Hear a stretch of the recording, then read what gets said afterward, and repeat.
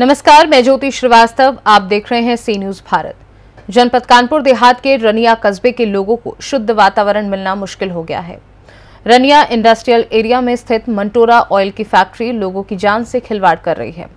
दरअसल, ये company refine बनाती है और यहाँ पर केमिकल का खूब उपयोग होता है।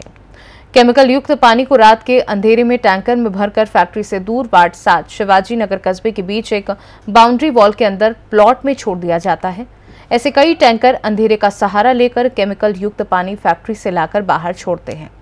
स्थानीय लोगों का कहना है कि ये पानी इतना बदबूदार है कि हम लोगों को रहने में भी अब बहुत दिक्कत होने लगी है।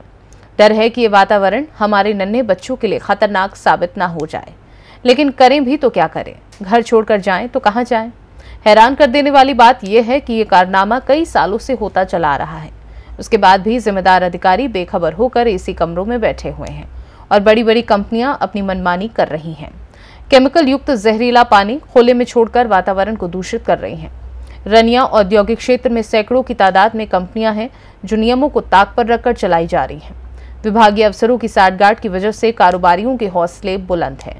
हैरत की बात तो यह है कि प्रदूषण नियंत्रण बोर्ड का क्षेत्रीय दफ्तर रनिया औद्योगिक क्षेत्र में ही बना हुआ है। प्रदूषण नियंत्रण बोर्ड के क्षेत्रीय अधिकारी और उनका भारी भरकम स्टाफ है। उसके बाद भी क्षेत्र में किस तरीके की गतिविधियाँ हो रही हैं, वह उससे वाकिफ नहीं है, या यूँ कहें कि वाकिफ ना होने का ढोंग कर रहे हैं। रनिया कस्बे के रहने वाले लोगों का कहना है कि प्रदूषण विभाग से लेकर जिलाधिकारी तक खूब शिकायतें होती हैं, लेकिन सुनने वाला कोई अफसर दिखाई नहीं देता। कानपुर देहात के रनिया कस्बे में रहना अब लोगों के लिए सहज नहीं है, रह गया है, क्योंकि रनिया का वातावरण इतना दूषित हो चुका है कि आधे से ज़्यादा आबादी अक्सर बीमार ही रहती है। कहीं क्षेत्र में उड़ रही राखी से लोगों की आँखें खराब हो रही हैं तो कहीं जहरीला धुआँ सांसों में उतर रहा है। हालात यह है कि पूरे क्षेत्र का पानी तक दूषित हो चुका है। अगर हाल यही रहे तो कुछ सालों में ज़मीन भी बंजर हो जाएगी। लेकिन जिम्मेदार इन सबसे बेखबर बड़ी बड़ी कंपनियों की हाँ में हाँ मिलाते नज़र आ रहे हैं। नाम भैया हमारा। क्या समस्या है? यहीं के निवासी हैं ये फैक्ट्री में पानी निकलवा वाले डालते हैं सुबह शाम इस वजह से जो दूषित पानी है और बीमारी का खतरा है। अब इसको बंद कराया जाए किसी तरीके से। कितने सालों से ये समस्या? चार पाँच सालों से व्यवस्थाएँ चल रही हैं जब तक यहाँ हम लोग चार साल हो गए आते आते लग रहे हैं सुबह पानी चलाओ दो आठ दस बाल्टी फैलाओ फिर भी महक नहीं जाती है।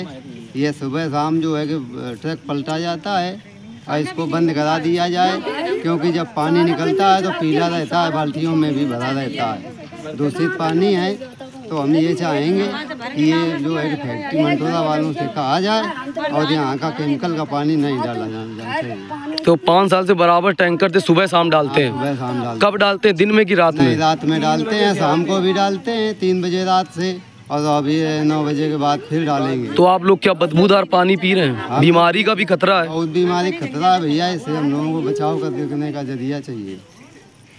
तो दूषित पानी आप पी रहे हैं लगातार? दूषित पानी बराबर हम लोग पी रहे हैं। और बच्चे भी बीमार हो हम लोग भी बीमार होंगे ये पानी केमिकल का है इसलिए जो है कि इसका निर्णय कुछ कराया क्या चाहते हैं आप? हम ये चाहते हैं भैया ये पानी बंद हो जाएगा तो यहाँ से मतलब बीमारी दूषित पानी खत्म हो जाएगा धीरे धीरे तो हम लोग जो है कि स्वच्छ स्वच्छता की मैं मेरा नाम मुकेश गुप्ता है। जी। और मैं यहाँ का निवासी हूँ घर भी है हमारा। जी। और मैंने बोर करवाया लेकिन पानी क्या करें वो पीला निकलता है। वही बच्चे पी रहे हैं वही हम लोग पी रहे हैं। कहाँ से पानी आएगा बताओ। तमाम समस्या यहाँ समस्या समस्या तो है। तो क्या लगता है फैक्ट्री में पानी किस तरीके डेली डाला जाता है क्या? पंद्रह बीस टैंकर डेली आता है। सुबह चार बजे तीन बजे से चालू होता है और वो उधर गेट बना है। वहीं से घुस घुस के बस पलटाया जाता है। जो रिफाइंड का कचरा निकलता है ना पानी का जी। वो पानी यहाँ डाला जा रहा है। और हमारे पानी में रिफाइंड की झलक भी आती है आप चाहो तो देख सकते हो। तो आप पानी पी नहीं पा रहे हैं इसका मतलब बदबूदार पानी हाँ। बदबूदार पानी है पीने को क्या है? कौन कंपनी ये डालती है ये पानी मंडोरा। तो कितने सालों से ये प्रक्रिया चल रही है? जब से मैं आया तब से यही चल रहा है। उसके पहले से भी चल रहा है। जो कब से चल रहा हो ये पता नहीं हमको दूसरी साल है। तो इसका मतलब आप पानी पीने को मजबूर हैं। मजबूर आपका जब नल चलाते हैं तो क्या कैसा लगता है पानी? किस तरीके से आता ये है? समझो कि जब हम उससे पाँच छः सात आठ बाल्टी पानी निकालते हैं तब जाके पानी निकलता है वो भी महक मारता है बहुत तेज। किसी तरह मान लो पीना तो पड़ेगा पड़ेगा। वही हमारे बच्चे तो ये तो आगे के लिए भी खतरा रहेगा आप इस तरीके खतरा क्या अभी उसकी पानी की जाँच कराई जाए तो उसमें तो बहुत खतरनाक पानी है। आप क्या चाहते हैं? हम चाहते हैं कि ये पानी बंद हो जाए यहाँ से ये जो पड़ता है। तो धीरे धीरे ये साफ़ हो क्या समस्या होती है आप लोगों को? आ, हमारे नल के पानी में महक आती है। किस वजह से आती है? ये फैक्ट्री के अंदर पानी भरा रहता है। कौन डालता है फैक्ट्री पानी? कब डाला जाता है? डेली सुबह आते हैं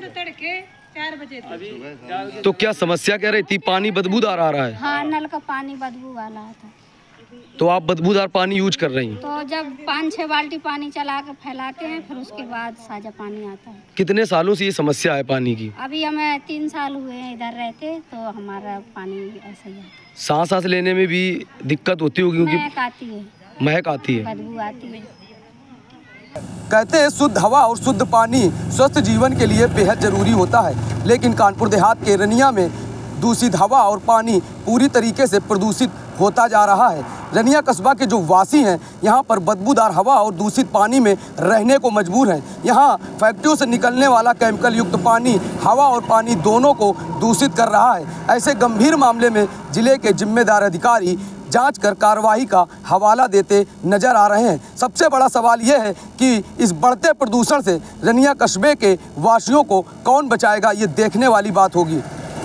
कानपुर देहात से सी न्यूज़ संवाददाता दीपक श्रीवास्तव की रिपोर्ट। फ़िलहाल इस खास रिपोर्ट में बस इतना ही। देश दुनिया की बाकी खबरों को जानने के लिए आप देखते रहिए सी न्यूज़ भारत।